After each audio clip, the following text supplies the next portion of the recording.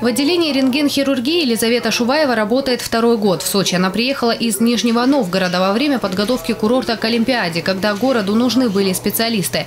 Медсестра уже с почти шестилетним стажем работы недавно прошла курс обучения по работе с ангиографом. Эта установка позволяет менее инвазивным способом провести диагностику и лечение сосудов сердца, головного мозга, нижних конечностей и других органов. У нас идет в основном как помощь хирургу во время операции то есть при посадке расходного материала и помощи в операции. То есть нужно знать, какой катетер идет, какой размер, правый или левый, то есть какой проводник. Вот это у нас и обучали. То есть и как правильно с ним обращаться. Имея необходимую для проведения операции базу знаний, медсестра становится вторыми руками хирурга, которые просто необходимы при проведении коронарографии или стентировании сосудов.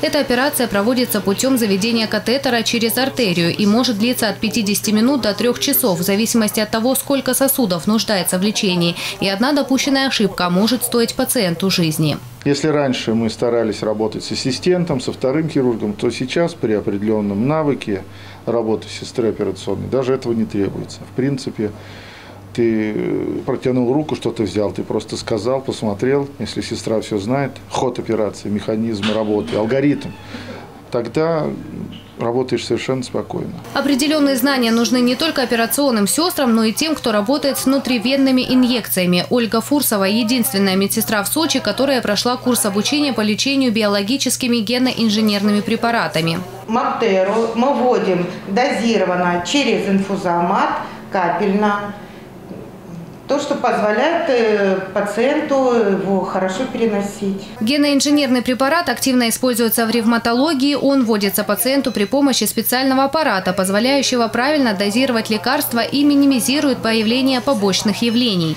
Мы видим просто замечательный эффект. Больные становятся трудоспособными, у них э, активность процесса значительно уменьшается. Ну, естественно, это э, мы э, расценим как э, улучшение течения заболевания. Лечение суставов с применением таких препаратов в 4 городской больнице прошли уже около 30 человек, а благодаря высокому уровню знаний операционной сестры проведено уже более 100 успешных операций на сердце. И программа по обучению специалистов со средним медицинским образованием будет продолжаться.